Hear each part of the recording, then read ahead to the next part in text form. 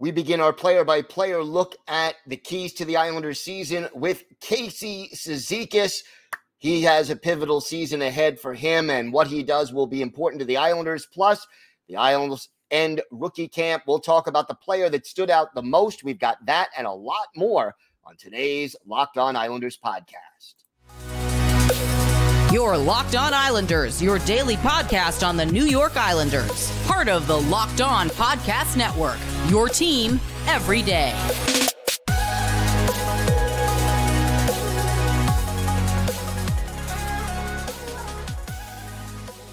And welcome, everybody, to the Wednesday edition of the Locked On Islanders podcast, part of the Locked On Podcast Network, your team every day. I want to thank everybody who makes Locked On Islanders your first listen every day. Don't forget to subscribe on YouTube or wherever you get your podcasts so you can get new episodes as soon as they drop. And you can also find us now on SiriusXM on the SXM app. Just do a search for Locked On Islanders. Today's episode is brought to you by Jase Medical. Empower yourself when you purchase a Jase case, providing you with a personal supply of five antibiotics that treat 50 plus infections.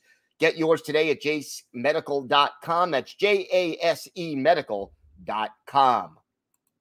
Lots to discuss on today's show. But first, if there's something Islanders related on your mind, if you have a question, a comment, maybe a topic you'd like us to discuss on today's show, feel free to email us at lockedonislanders at gmail.com. And if you leave your first name and where you're from, we are happy to mention you on the show when we discuss whatever it is that's on your mind. You could also follow the show on Twitter at Locked On Isles.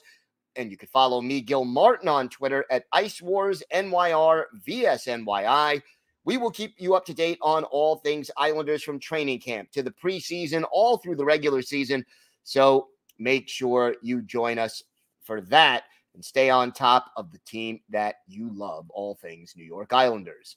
All right, lots to discuss today. And we're going to start by doing a player by player look at the Islanders, one player per day throughout training camp in the preseason, and break down sort of maybe the most important thing for them coming up this year. And we're going to start with Casey Cizikas.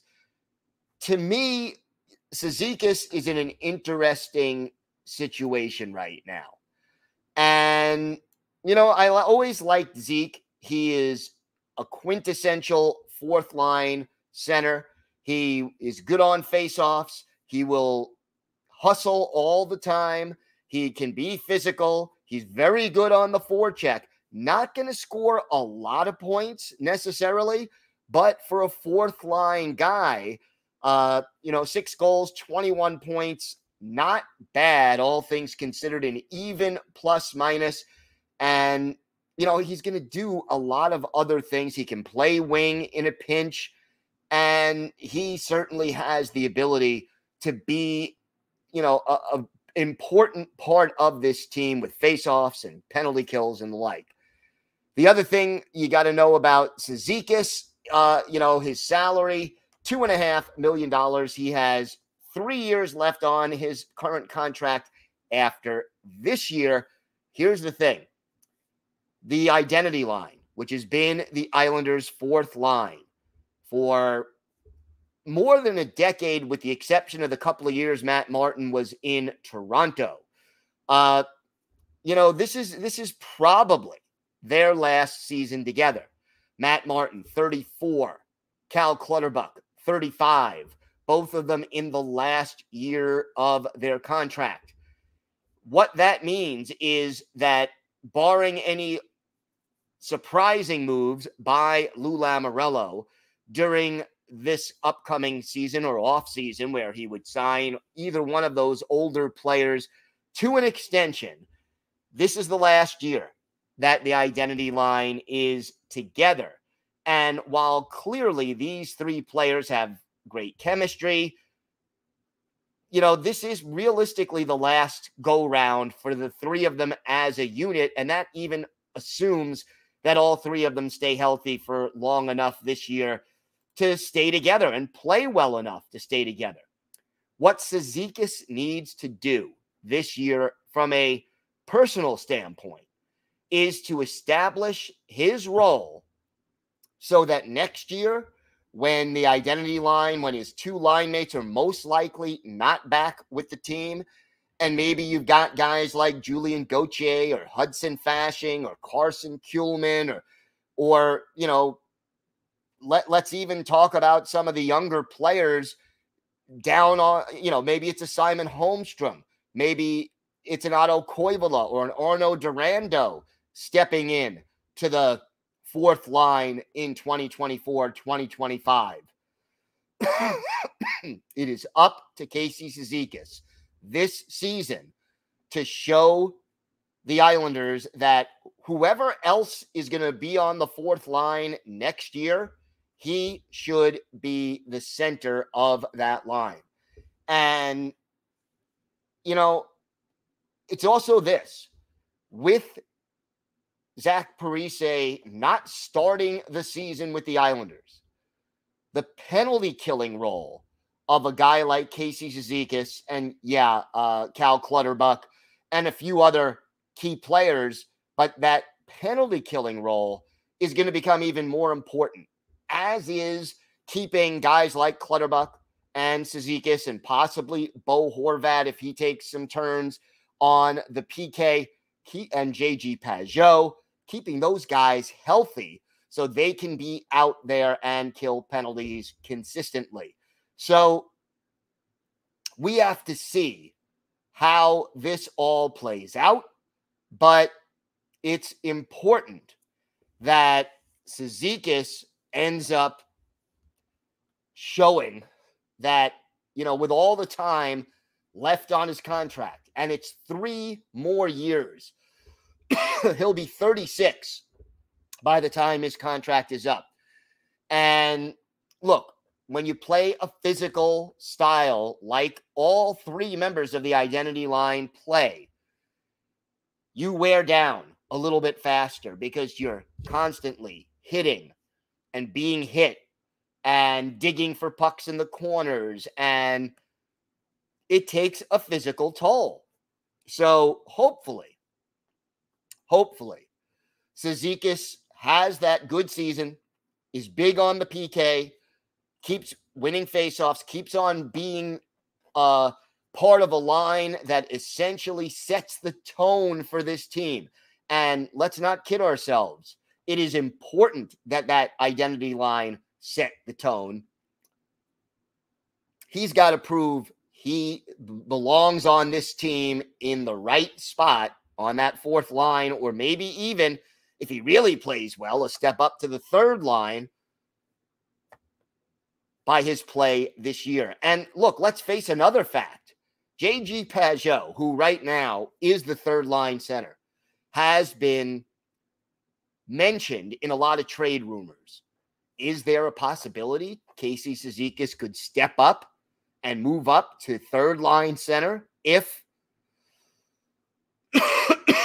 Pageau is traded, or do you move? Uh, you know, now you have five centers. If one is traded, you just slot, you know, uh, Mathew Barzal back into the center position and keep Cizikas at fourth. How well he plays may very well go away to determining that. And then, of course, do you also go with one of the younger players uh, down on the farm? You know, Iskhakov can play either center or wing. Uh, maybe you go with Iskhakov if if a trade is made. So again, knowing that Casey Cizikas is playing well gives you more flexibility if any of the centers are traded.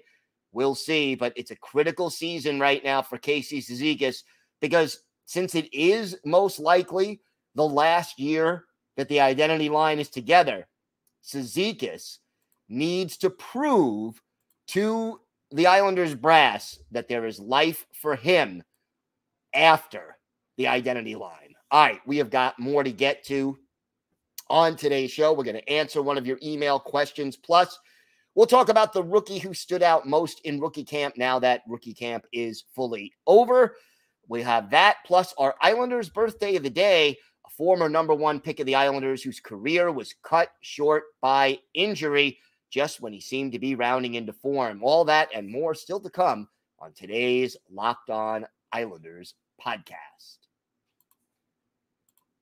Today's episode is brought to you by Jase Medical. Everyone should be empowered to care for themselves and their loved ones during the unexpected. That's why Jase Medical offers the Jase case. The Jase case provides five life saving antibiotics for emergency use and gives you a peace of mind so that you're not just hoping that you have access to medication in an emergency. Jase Medical makes sure that you have the medication in hand. Jase Medical is simple. They handle everything from the online evaluation to licensed pharmacy medication delivery and ongoing consultation and care. Don't get caught unprepared. Save more than $360 by getting these life saving antibiotics with Jase Medical, plus an additional $20 off by using code locked on at checkout at jasemedical.com. That's J A S E medical.com, promo code locked on. So, rookie camp ended Tuesday, done. And I think, you know, a lot of players had a big chance of making an impression, but the one player who really stood out the most, in my opinion, has got to be Isaiah George. And there's a lot of factors involved in the way George has played. And look, he's now going to be part of the big camp, which certainly is important for the New York Islanders. But George, you know, really looking very, very good. And, you know, to me, it's important to see George. He's only 19 years old. And here is what Rick Kowalsky had to say about Isaiah George. He is, of course, the coach of the Bridgeport Islanders. If you were going to teach a kid the proper posture and skating, he's probably not too far off. He's always centered, he doesn't overextend. His mobility and his feet make him really tough to get by one on one. Now, George is going to play for the London Knights of the OHL, the Junior League. He's because he's 19, he either has to play in the NHL or in juniors. He is not eligible to play for Bridgeport this year. But that means really that the most he can do is play nine games with the Islanders. If he plays 10, he's got to stay with the Islanders all year.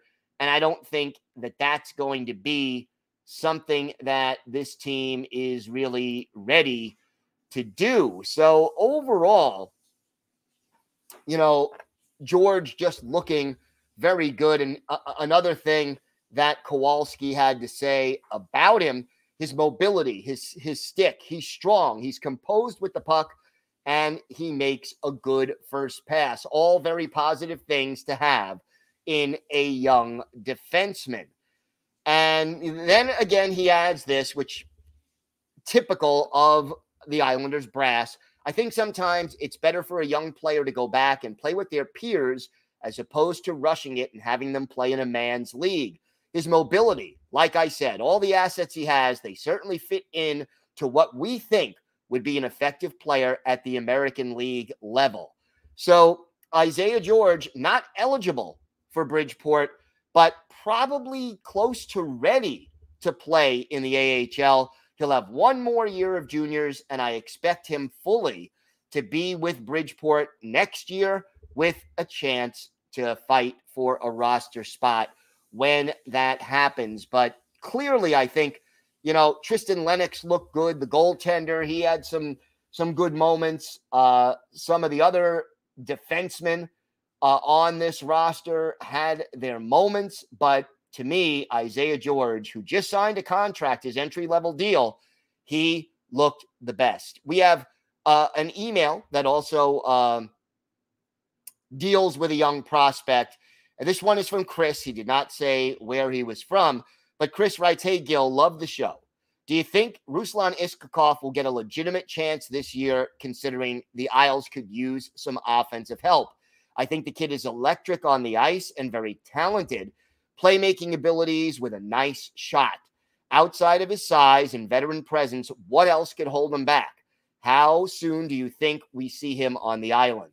Chris, first of all, thank you for the kind words and for the email. Don't forget lockedonislanders at gmail.com if you want to ask a question. And look, Chris, I think size is the biggest thing that is holding him back. That and the fact that Lou Lamoriello and Lane Lambert tend to prefer to have their veterans in the lineup rather than their young players. I think you're right that Iskhakov, his skill set fits what the Islanders need to improve this team. You want this team to get younger, faster, and more skilled. Iskhakov checks those boxes.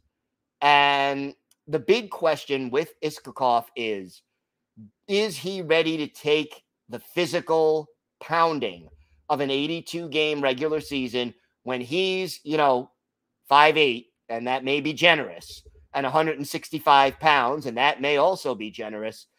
Uh, uh, you know, can you imagine him getting checked by, uh, you know, a, a six foot four, 210, 15 pound player or battling in front of the net with a guy like Zdeno Chara or, or uh, even a Scott Mayfield? it won't be easy. And what we saw from Iskhakov last year, he got off to a really good start and then slowed down, eh, eh, let's say after the first six weeks or so of the season. And a lot of people speculate that that's because the physicality of the AHL kind of caught up with him. He needs to show in camp that he can take hits, be physical, battle for position, and the other thing that all Islander players need to show to make this team. Iskhakov needs to show that he'll back check and that he knows what to do without the puck, picking up his defensive assignment, being in the right position. If he doesn't do that, we've seen how young players who can't do that do not last on this team. They may get called up for a game or two, then they get benched uh, when they make a mistake or two.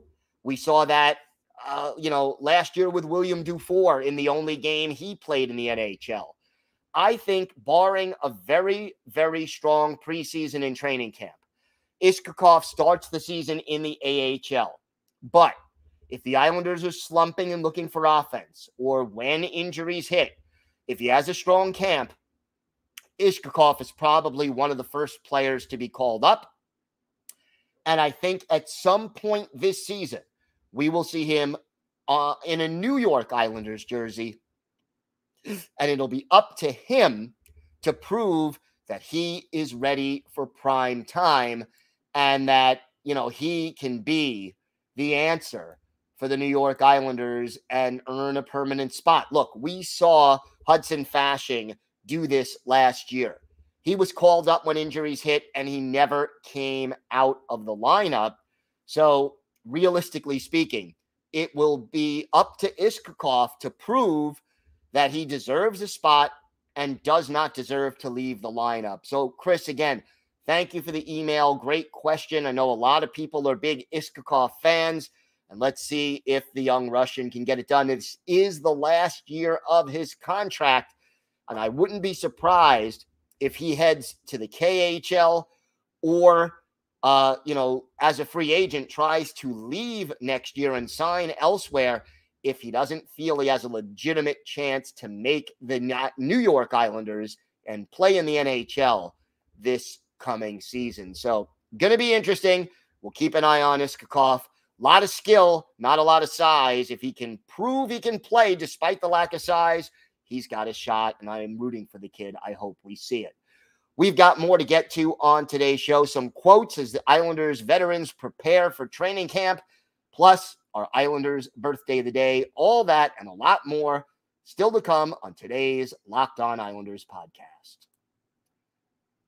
Today's episode is brought to you by FanDuel Sportsbook. Snap into action this NFL season with FanDuel, America's number one sportsbook. Right now, new customers get $200 in bonus bets guaranteed when you place a $5 bet. That's $200 in bonus bets, whether your first bet wins or loses. If you've been thinking about joining FanDuel, there's no better time to get in on the action. And the app is so easy to use. There's a wide range of betting options like point spreads, player props, over unders, and a lot more. And it's not just the NFL. You could use your knowledge of the Islanders. Futures already out there for the Isles.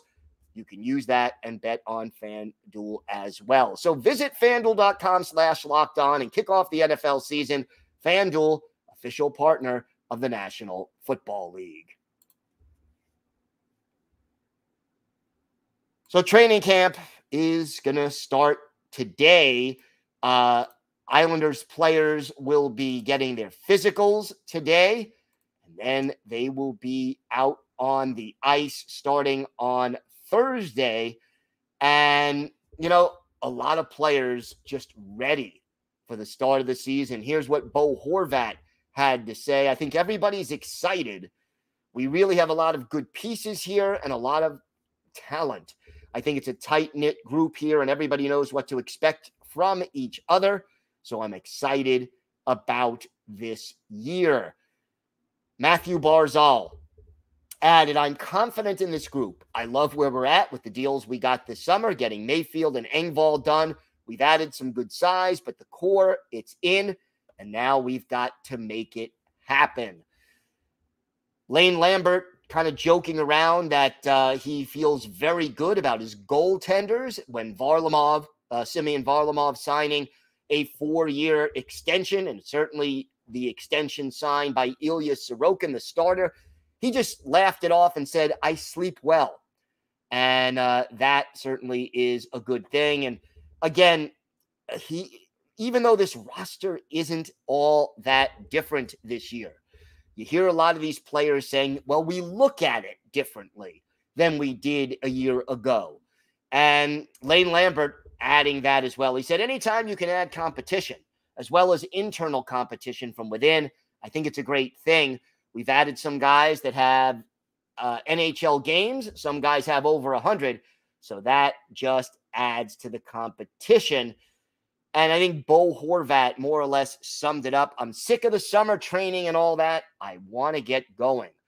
Well, Bo, I can tell you right now, Islanders fans want to get going as well. It's really sort of time for this team to to just get out there and and, and hit the ice and oh yeah it, it it's just a, a, a great time to have this happen. I am ready. You, you just feel that chill in the air and you know, showtime. Let's let's bring on some hockey and and and get to the point where uh, we're going to see some exhibition games in what about a week? Not even. So I am also looking forward to that. In fact, less than a week. First preseason game, September 26th. Islanders at Madison Square Garden to face the Rangers. That's a seven o'clock Eastern time start. And yeah, it's going to be televised on MSG. And I can't wait. I mean, we're literally talking uh, about, you know, next Tuesday. So bring it. Islanders, Rangers just around the corner, and just a lot to look forward to. Time now for our Islanders birthday of the day. We're a day late with this one. I mentioned a lot of important Islanders related birthdays this week. Well, yesterday, uh, Tuesday, was the 42nd birthday of former Islanders goalie Rick DiPietro. DP, the native of Lewiston, Maine, first overall pick in the 2000 NHL entry draft, not just first round, but number one overall. Spent a year at Boston University and then joined the Islanders in 2000, 2001. Signed that now infamous 15 year contract that made him an Islander for life. And then, you know, we saw a lot of us him get injured during the skills competition at the All Star game where he was mic'd up and had a camera on his mask, and all of a sudden you hear him say, "Ouch!" You know that that that hurt. Something popped. You know whatever it is, and and he just absolutely had his career disrupted by injury after that. You look back at 2006, 2007, 2008. Uh, you know, 63, 62, and 63 games played in 05, 06, 06, 07, 07, 08. And then never played more than 26 games in a season after that, and only played more than eight games in a season once, and that was in 2010, 2011. DiPietro, when he got hurt, was well on his way to becoming a very, very good NHL goaltender, and yet, you know, never got there. A lot of fans upset when he got hurt and uh, blamed him for the contract. I think the Islanders because of the injury settlement, will probably be paying him until he's like 90. And I know I'm exaggerating, but uh, he he really, you know, who if, if somebody offered you that contract, would you turn it down? I, I don't think I would. Uh, so Rick DiPietro, a good guy uh, and a fine goaltender, and now a broadcaster on uh, radio. Uh, he, you know, really is one of the big what ifs in Islanders history. Played in 319 NHL games, all of them with the Islanders. Had a 2.87 career goals against average, a 902 save percentage. One of his better games with the Islanders came out December 16th, 2006, at the old barn, the Nassau Veterans Memorial Coliseum. The Atlanta Thrashers are the visitors. Johan Hedberg in goal for the Thrashers. Rick DiPietro in goal for the Islanders. And DP getting it done with a 37 save shutout in this game. Islanders get goals from six different players and end up with a 6 nothing victory. Two point games for Shawn Bates, Andy Hilbert, Radek Martinek, Miro Satan, Mike Sillinger, as the Islanders really spread out the scoring. But DP, the story 37 saves. Islanders outshot 37 to 32, but win it going away six to nothing. Rick DiPietro, a good guy, and uh, again, one of the great what ifs in Islanders history. He is our Islanders birthday of the day. I want to thank everyone once again for making Locked On Islanders your first listen every day, every dayers. Tomorrow on the show, we will continue our player by player look at, you know, one big question surrounding each Islander player on the roster. We'll take a look at the goalie, Ilya Sorokin. He's a big key to this team. Let's see what we have to say about him tomorrow. And don't forget, tomorrow, Veterans Report take their physicals. Uh, actually, that's, you know, today. And then tomorrow they head out onto the ice. So, oh, so much to talk about uh, as training camp officially is underway and I am excited to see what this Islander team can do. Until then, have a great day, everybody. Stay safe. And of course, let's go, Islanders.